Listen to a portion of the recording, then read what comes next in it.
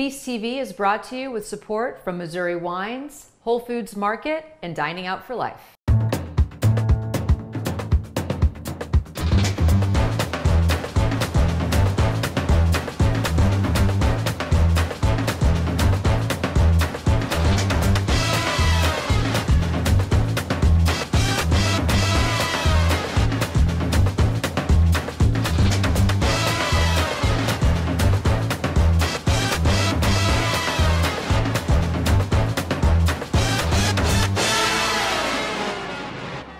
The March edition of Feast TV. This month, we are focused on what it means to be a chef working here in the city, and we're going to get you into the kitchens of some of St. Louis's best restaurants. Now, throughout the episode, I'm going to be demonstrating a recipe by Shannon Weber, who is the columnist that writes our Mystery Shopper column, and these are pannekoeken that are filled with a sweetened cream cheese and topped with a lemon and blueberry sauce. It's a great brunch dish and perfect for late winter, early spring dining. We're going to be pairing the pannekoeken with this bottle of White Lady, which is made by Hermannhof Vineyards in Hermann, Missouri. It's a German style light white wine that has a slight sweetness that's going to pair really well with that blueberry lemon sauce that we're going to put on top of the dish. Now, if you've ever wondered what it's like to be a chef de cuisine in one of St. Louis's top restaurants, you're in for a treat because we had a chance to spend a night on the line with Nate Hereford at Niche Restaurant in Clayton. Go ahead and take a look.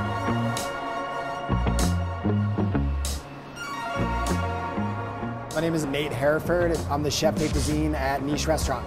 So I think uh, like the role of a chef de cuisine, uh, their job is to run the kitchen, and in that sense, their job is also represent uh, the executive chef when he is not in the restaurant or when he's in the restaurant.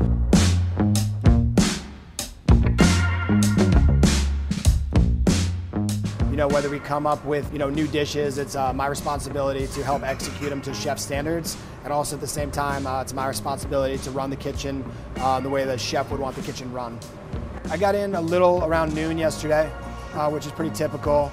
Kind of check on our books, uh, make sure, you know, see what our cover count is, allergies, restrictions, things like that.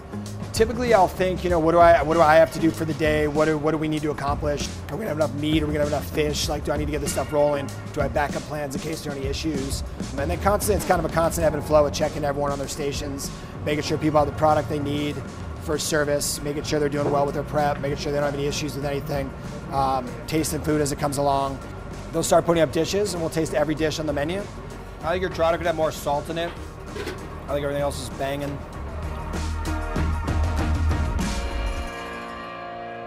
And then at 4.30, every day we'll do a lineup uh, at the bar, the front of the restaurant. We'll all go over food changes, uh, answer service questions about food, and then it kind of acts as like a pep talk for, for the night. Here's where it gets fun.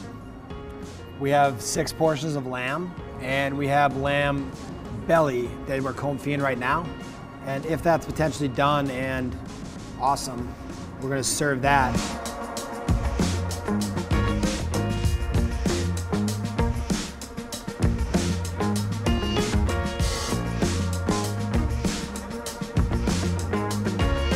Yeah, th yeah, exactly. So this one was like two and a half, this one was like just a three.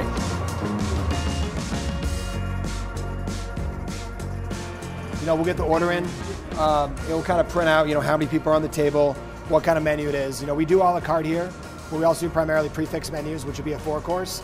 We also do like an eight course tasting with a couple snacks also as well.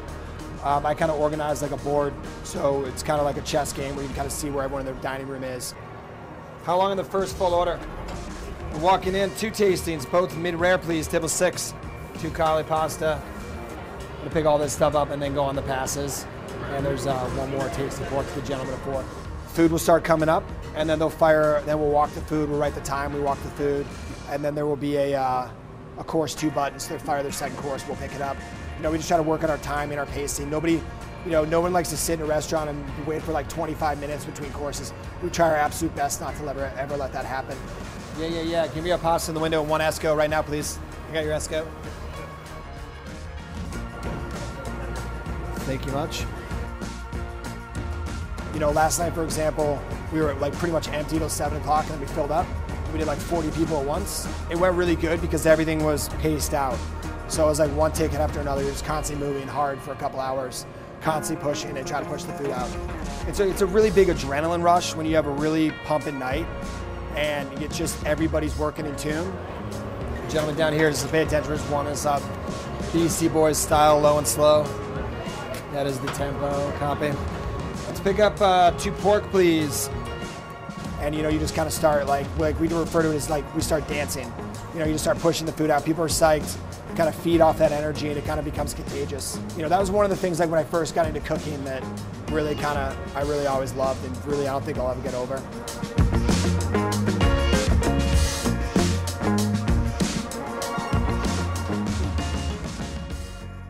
The dedication that the Chefs de Cuisine show across the spectrum in St. Louis is very inspiring.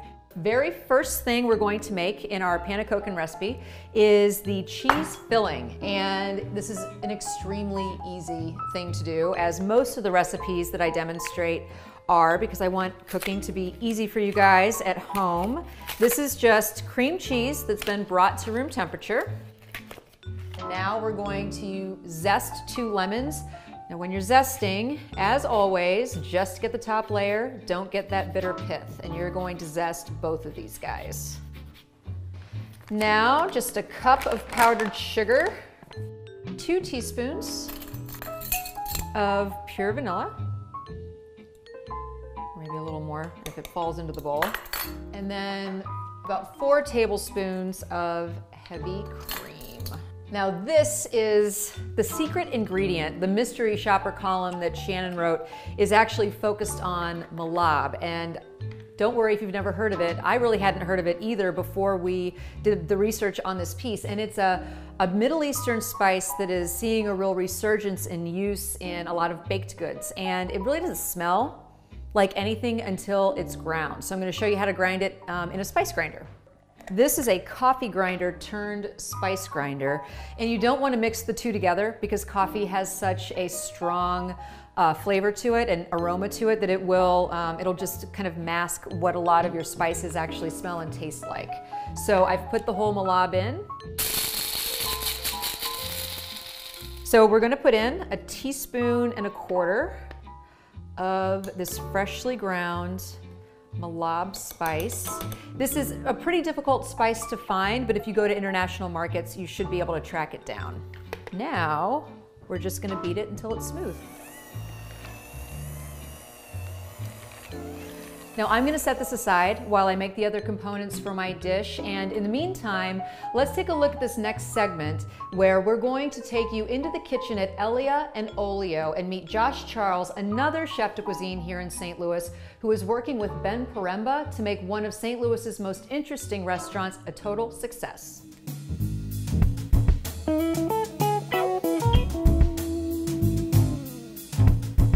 Attention to detail is everything. We want people to have great experiences. And for me, when I go to a, restaurant and if I come back to that restaurant, you know, I want to discover new things. And that's why we have all kinds of fun things to look at. Everything is very carefully choreographed.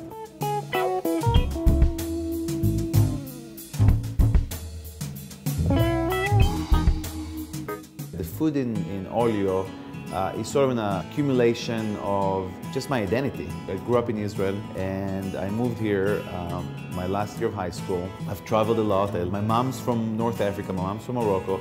So there's this, a lot of these reference uh, points that I have from my travels, from um, food I grew up with, uh, street food in, in, in, the Middle East and, and generally in the Mediterranean. But it's also a lot of American things. Those flavors, those colors, uh, sort of inform the stuff we serve at Olio. Elaia is sort of a similar story, but it's, uh, it's sort of my identity as a professional cook. Uh, and the things that informed me in my, in my profession, in my career. So first and foremost is my mother, who's a trained cook, a chef herself, and the food that she used to cook. But then my own development, living in Italy, uh, you know, try to be contemporary and, and take cues from different progressive and avant-garde methods of cooking. So naturally this is a little more refined and a little more composed, uh, a little more uh, even experimental if you will, and the other one is just plain fun. We have Josh, uh, who's very, very young, uh, but very dedicated, very skilled, very, uh, very creative.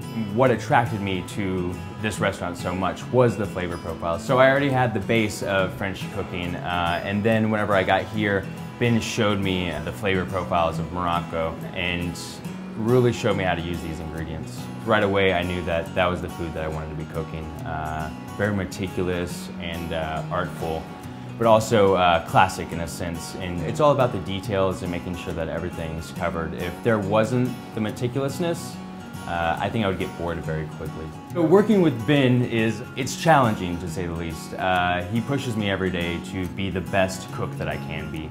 In other restaurants, it was designing a menu and then buying the stuff. Here, we've kind of flipped that around and we actually buy the stuff, uh, prep it, and then we make the menu based on what we have. So as always, the whole thing's gotta get a lot of flavor, yeah? A lot of aromatics. We wanna keep the dish very, very classic. And basically, the leg that we confit, we're just gonna warm up in the sauce.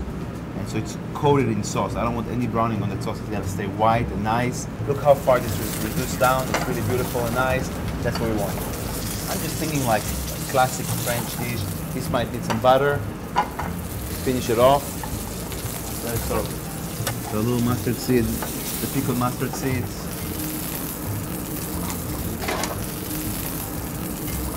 And we might not need these. I just think that they're going to be a nice little filler, and they're crunchy, and it, you know. Right. I'm thinking east of Paris sort of flavor, so mustard and we have any mustard greens? Uh, not today. Mustard greens will be nice with that. Maybe it doesn't need to be mounted with butter at all. Butter? It just makes it cloudy. I don't like that. One here. So maybe a little flavor right there. A little bit of our chive oil. You like it on the black plate? I do actually. Could use a little extra starch. You want to do some tarragon tonight? Deal, tarragon, and, and chive, the usual suspects. Yeah, that's it. Ben Poremba has sparked a total renaissance in Botanical Heights. Not only Elaia and Olio, but also La Patisserie Chouquette, Old Standard, which is his new fried chicken joint across the street. And he's also going to be doing grab and go foods with the new Global Foods that's going to be opening up in the Loop. He's really bringing a ton to the St. Louis scene, and I'm excited to see um, what he does next. So, what we're doing next is making the blueberry lemon sauce. And again, this is incredibly simple. Now, we're using frozen blueberries, and before you say, Oh my goodness, frozen blueberries. It's really important to note that especially when fruit is out of season, using the frozen variety, you're going to get more of a fresh flavor because these types of berries are flash frozen right after they're picked. And so it's better to get something that is frozen than something that is out of season and has been sitting on a shelf for a long time. So we're going to do uh, just about 24 ounces of these frozen blueberries. We're going to add in two thirds of a cup of just regular granulated sugar. We're gonna take the two lemons that we zested previously and we're just gonna go ahead and squeeze those into this mixture. And just to avoid getting any seeds in there, I'm just using this uh, wire sieve. It just makes things easier and you don't have to worry about seeds. So my blueberries are simmering on the stove and they need to simmer for about 20-25 minutes until they're reduced and slightly thickened.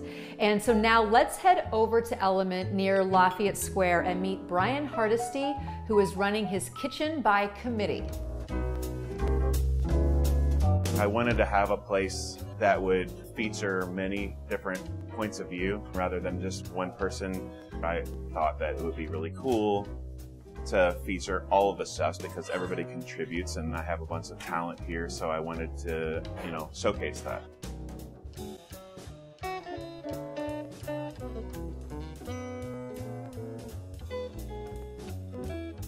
Basically, we have these slots to fill. It's the season's changing and we know what's available locally or what's just really good nationally. And so somebody will get interested in an ingredient, start building a dish, and as a team will critique it, which is the whole point. You might come in and have a chicken dish one day, but the next day it's the same components, but it's a completely different perspective on that dish. And so hopefully it's elevated.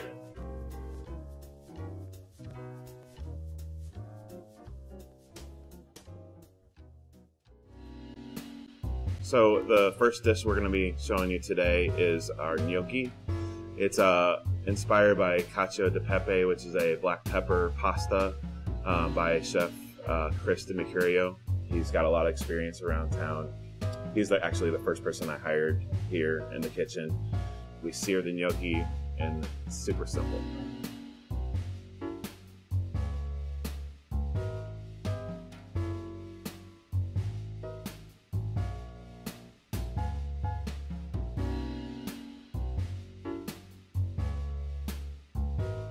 Second dish is the lamb pot roast by Chef Sam Bettler. He comes out of St. Charles. He consistently has great dishes and you know has a backlog that I can't wait to put him on the menu for the next change. It's slow braised, 16 hours. Like a traditional pot roast, it's like you know super tender and comfort food. But uh, we wanted to keep it with the season. This dish hit our menu around Christmas time, so we decided to serve it with roasted fingerling potatoes and carrots, and then we did like a spiced wine sauce, so kind of that Christmas feel.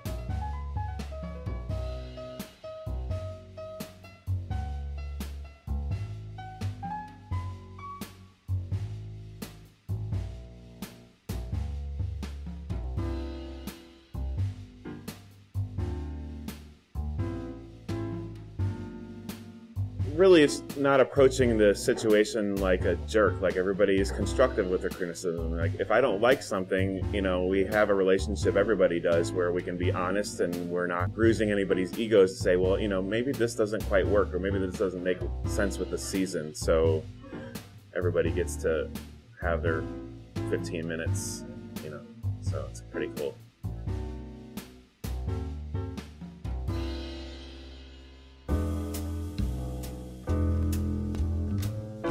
third dish is a uh, pork tenderloin by Chef Brian Coltrane.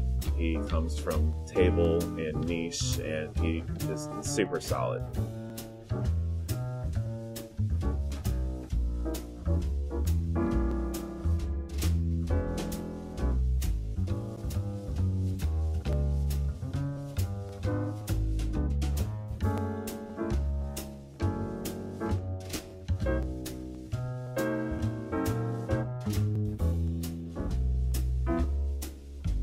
Our fourth dish is by uh, our pastry chef, Megan Boyer. Beer and Chocolate is the title.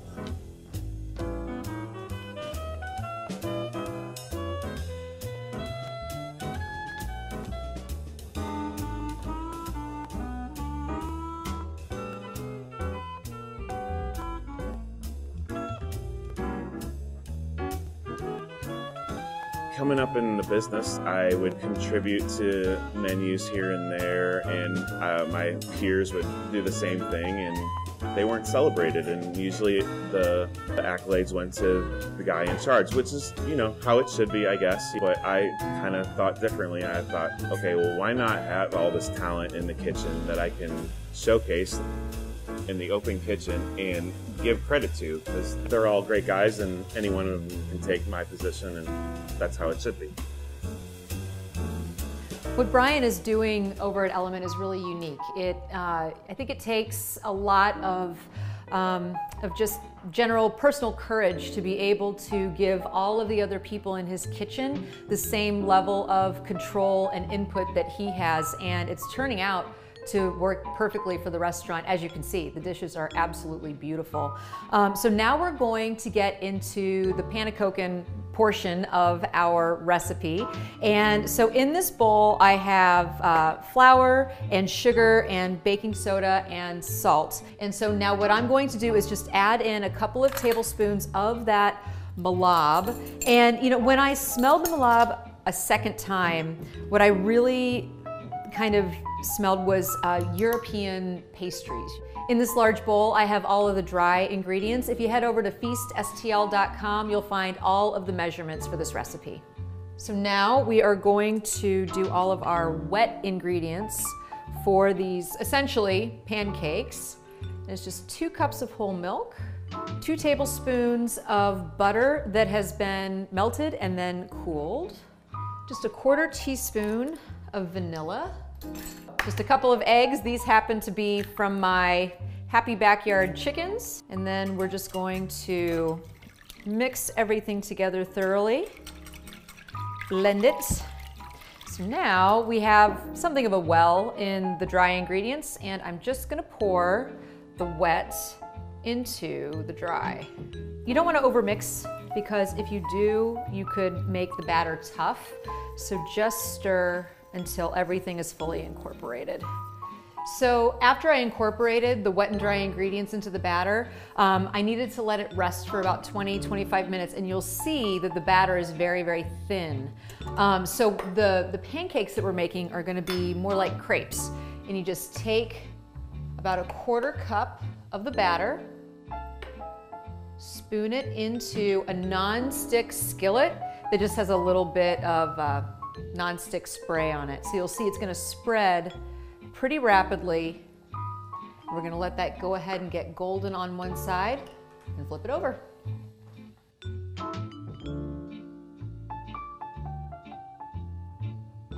Pancakes are piling up here and as you can see they're very thin and the idea is to cook them relatively quickly making sure obviously that they don't get burned. So while I finish all these little guys up, let's head over to Blood and Sand where Chef Nicholas is infusing the menu with new energy. And let's also meet the owner, TJ.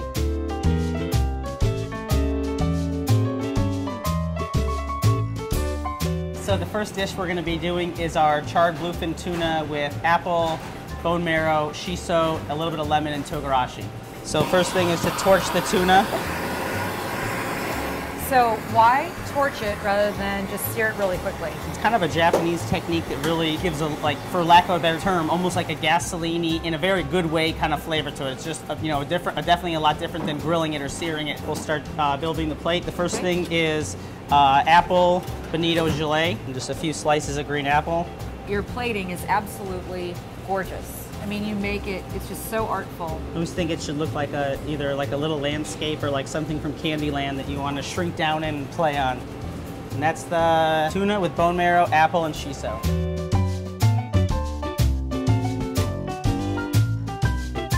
I think the reason Nick's cooking style is melding with our members is really Nick listening to what he was walking into. And he's keeping the menu accessible while adding some components I don't think we definitely have never had here before. And it's accenting what he's learning from the restaurant as opposed to him imposing his will. I don't think he had an agenda when he started. He just wants to have a good time. Coming into Blood and Sand, uh, you know, as the new chef with already an existing menu and existing members with expectations, I, I treated it with great sensitivity. After conversations with TJ and, and the you know the staff here, like what are some favorites? Like what should I leave alone? Like while I build trust with the with the members here. You know, here we are now. Uh, you know, a month and a half into me working here, and I, and I love it.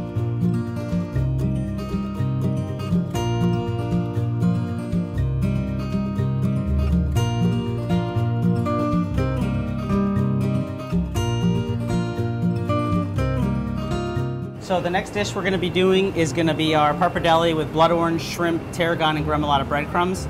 So the whole thing starts with basically just reducing uh, blood orange. Shrimp and citrus obviously goes very well together. Uh, so it was just you know something kind of something that led us to do that you know want to do pasta with it and that you know obviously there's citrus in the gremolata breadcrumbs so I think that's kind of what brings the, the whole dish together. Once it gets to about that point right there we can drop the pasta. That point, the, the shrimp can come in. The shrimp have just been like lightly poached ahead of time. Okay. With a little bit of olive oil and tarragon. Fire shrimp heads. So the pasta's ready. So do a little bit of the, the cooking liquid. And then to finish that, a little bit of gremolata breadcrumbs There you go. little uh, fresh tarragon, and then the shrimp heads. Okay, so the last dish we're gonna be doing is gonna be our uh, grilled Iberico secreto with chestnut, mandarin oranges, and chorizo. And it's basically the inside skirt steak of the, the Iberico pig. So it's extremely fatty, extremely flavorful. To do the dish, we basically just grill it on both sides. And the next thing we're gonna do is gonna be sear some chorizo. A little bit white balsamic. This is a chestnut puree. It's basically just chestnuts cooked down with a little bit of water and butter. Some of the really quickly wilted Treviso with uh, white balsamic. A few slices of mandarin orange. And again, we, we, you know, we serve this a little bit pink, which is really the best way to eat it. It's just super flavorful and delicious. That's beautiful. You know, my style really is taking the best ingredients that I can possibly get and treating them with as much respect as I possibly can. I think really just to kind of just keep experimenting and exploring with, with, you know, new techniques and new things, kind of comforting things, but that push people a little bit out of their comfort zone, but with comforting, you know, foods and ideas. So when you build a really good team and you have great people around you, you have to keep them hungry. And a, a, good way to do that is new ideas, new experiences, something else to work on, especially the kitchen. And these people behind the bar, they're hungry for stuff. I think what I love most about coming into the kitchen, uh, in, in, especially in this kitchen, is just is how rejuvenated it and I feel like I have a new lease on life with just these with these guys in this kitchen and you know kind of the direction that we're taking the food and just how focused they all are. It's you know my job to to match it if not you know exceed that. The family aspect that we have here is just incredible and I think that's what I love so much about coming in here every day.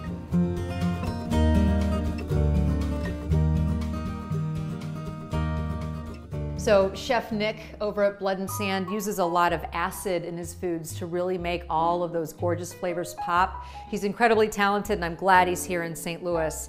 And just as a side note, Blood and Sand still does have um, some memberships available.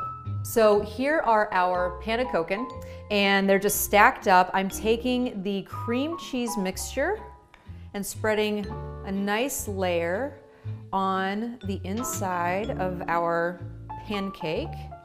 Then I'm just gonna roll this guy up.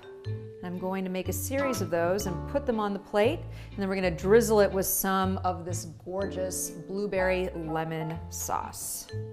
So I've rolled all of our pannekoeken and I'm gonna just drizzle this with a little bit of the lemon blueberry sauce just to give that beautiful tart flavor. Oh, this looks so gorgeous. Imagine presenting this platter at a brunch that you're hosting at your house. Everybody will just ooh and ah over it. A little bit of toasted slivered almonds, just for a little bit of crunch, because all of these elements are pretty soft. So if you wanna have a little bit of variation on um, in the texture on the plate, that'll add a nice, uh, nice pop. And then I'm pairing this with the White Lady from Hermannhof, uh, which is in the Hermann region of Missouri. This is a German style white blend that has a slight sweetness to it. It has a little bit of kind of a citrus acid nose to it, which plays amazingly well with the lemon that we have in the cheese stuffing as well as the blueberry sauce. Oh, I can't wait to dig in. Cheers, and I'll see you next month.